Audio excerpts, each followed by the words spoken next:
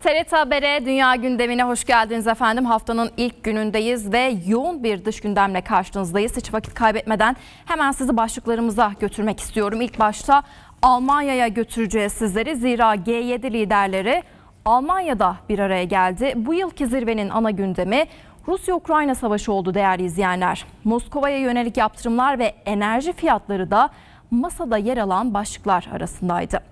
Ve gözler NATO zirvesinde NATO üyesi ülkelerin devlet ve hükümet başkanları İspanya'nın Madrid kentinde bir araya gelecek değerli izleyenler. Çok kritik bir zirve.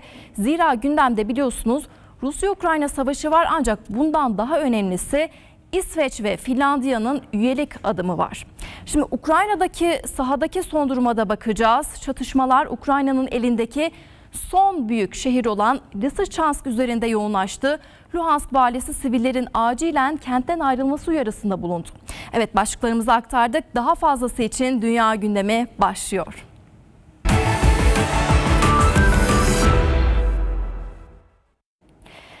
Değerli izleyenler biraz önce de söyledik dünyanın gözü İspanya'da olacak. NATO üyesi ülkelerin liderleri Madrid'deki zirvede bir araya gelecek. Toplantının ana gündeminde Rusya-Ukrayna savaşının etkileri, İsveç ve Finlandiya'nın üyelik adımı var. Çok gerçekten kritik bir konu. Şimdi detaylı bilgi almak için Fatih Uğur'a gideceğiz. Fatih bizi İspanya'da bekliyorsun. Nedir detaylar? Zirvenin detaylarını senden dinleyelim.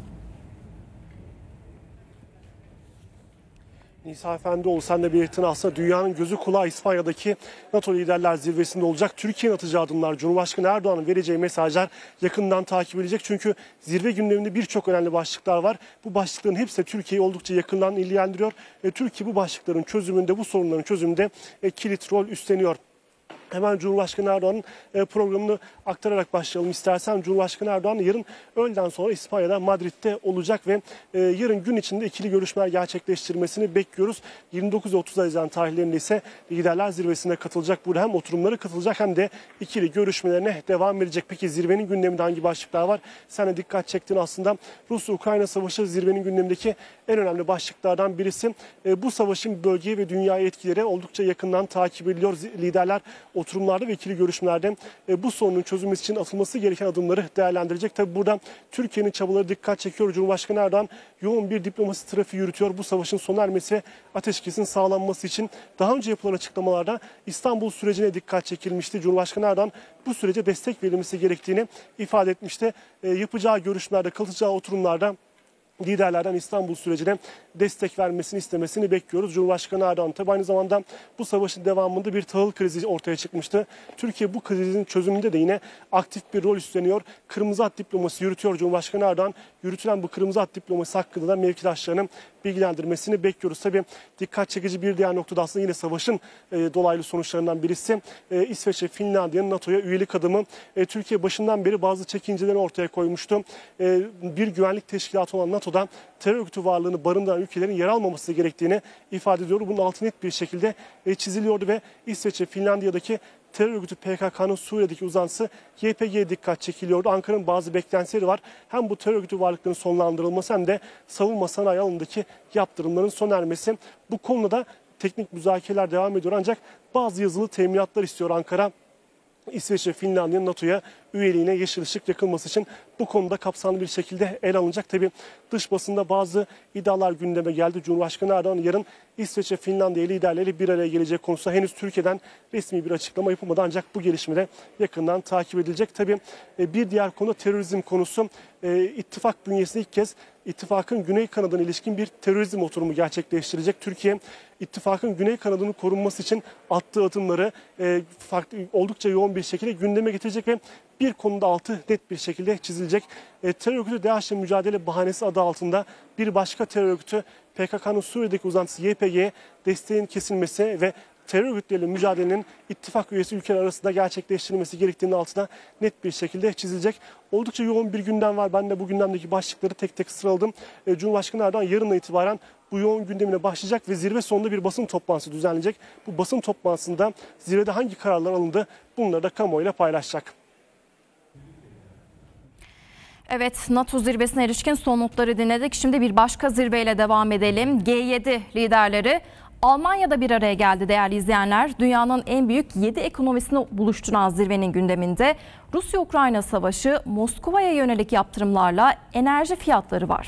Bu arada Amerikan Başkanı Joe Biden G7 ülkelerinin Rusya'dan altın ithalatını yasaklayacağını belirtti. İşte detaylar. G7 liderleri dönem başkanı Almanya'nın ev sahipliğinde Bavyera eyaletindeki Elmaos Sarayı'nda buluştu. Zirveye Amerika Birleşik Devletleri, Fransa, Almanya, İtalya, Japonya, İngiltere ve Kanada liderlerinin yanı sıra Avrupa Birliği yetkilileri de katıldı. Almanya Başbakanı Olaf Scholz eşiyle birlikte konuk liderleri karşıladı. Karşılamanın ardından aile fotoğrafı çekildi. Bu yılki zirvenin ana gündemi Rusya-Ukrayna savaşı. Rusya'ya yönelik yaptırımlar, gıda güvenliği ve artan enerji fiyatlarıyla mücadele masada yer alan başlıklar. G7 liderlerinin Ukrayna'yı desteklemek ve Moskova üzerindeki baskıyı arttırmak konusunda birlikte hareket etmesi bekleniyor. Amerika Birleşik Devletleri Başkanı Joe Biden, Rusya'dan altın ithalatını yasaklayacaklarını belirtti. Biden zirve öncesi Almanya Başbakanı Scholz'la da görüştü. İki lider Rusya'nın Ukrayna'ya açtığı savaşta batılı ülkelerin birlikteliğine vurgu yaptı. Biden zirvede düzenlenen ortak basın toplantısında küresel altyapı ve yatırım ortaklığı planını açıkladı. Amerika Birleşik Devletleri'nin gelişmekte olan ülkelere 200 milyar dolar küresel altyapı yatırımı yapacağını söyledi. Biden altyapı yatırımları için 2027'ye kadar G7 ülkelerinin ayıracağı toplam tutarın 600 milyar dolar olacağını kaydetti. Zirvenin düzenlendiği bölge G7 ve küreselleşme karşıtlarının da gösterilerine sahne oluyor. Güvenlik için 20 bin polis görevlendirildi. G7 liderler zirvesi zamanlamasıyla da dikkat çekiyor.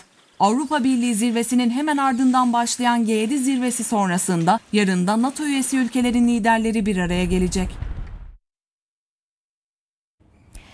Efendim şimdi de Ukrayna'daki son duruma bakalım. Rusya haftalar sonra yeniden Kiev'i hedef aldı. Rus ordusuna ait füzeler Ukrayna'nın başkentindeki iki apartman ve bir anaokuluna isabet etti. Saldırıda bir kişi hayatını kaybetti, 6 kişi ise yaralandı. Detaylara bakalım. Rus füzeleri Kiev'deki 9 katlı bir apartmana ve bir anaokulunu vurdu.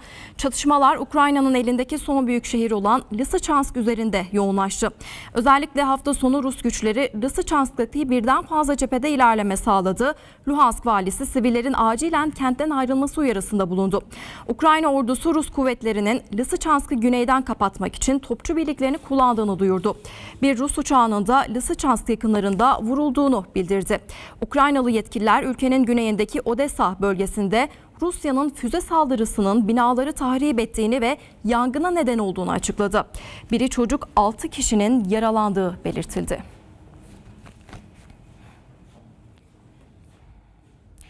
Değerli izleyenler, İspanya Fas sınırındaki göçmen akınına polis müdahalesi devam ediyor. Fas polisi Ceuta sınırına yaklaşan 59 göçmenin yakalandığını duyurdu. Can kayıplarına ilişkin farklı açıklamalar geliyor.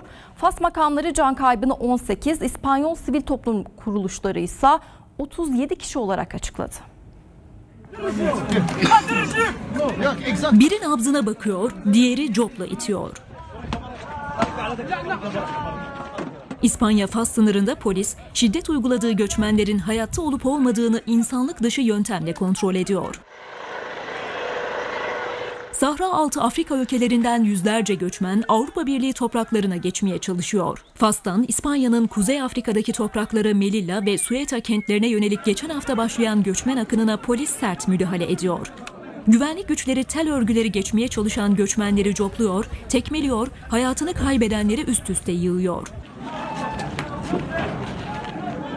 Fas polisi Sueta yakınlarında 59 düzensiz göçmenin yakalandığını duyurdu. Bazı göçmenlerin sınır tellerini aşmak için özel üretilmiş demir teçhizatı bulunduğu aktarıldı.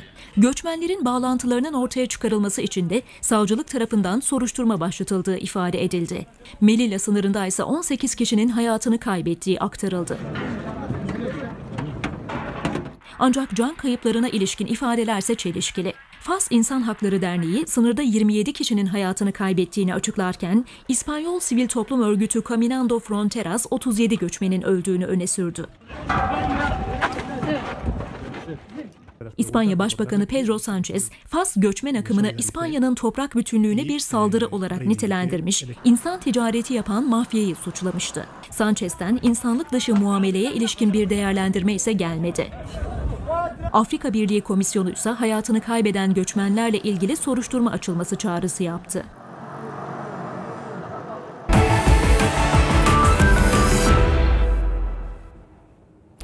Değerli izleyenler, Kolombiya'da bir boğa güreşi sırasında tribün çöktü. Olayda ilk belirlemelere göre 5 kişi öldü, 500'den fazla kişi yaralandı.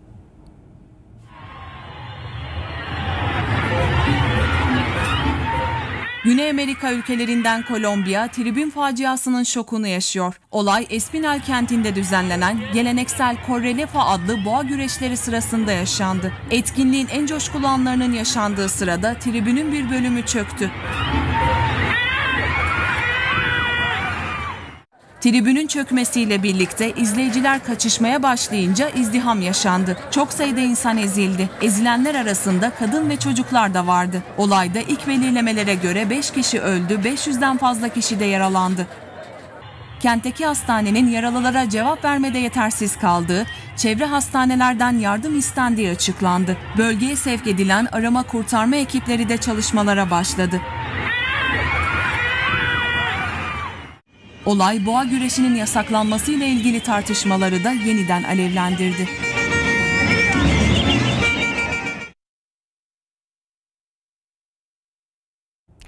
Efendim bu haberle dünya gündemini bugünlük noktalıyoruz. Yayınımız Nilgün Balkaç'ın sunumuyla öğle ana haberle devam edecek. Hoşçakalın, bizde kalın.